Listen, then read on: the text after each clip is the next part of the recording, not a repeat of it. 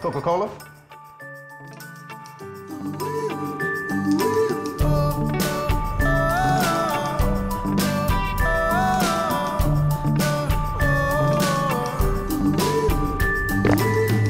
Oh, it's happy hour. so, you want a free Coca Cola, but you have to drink it here.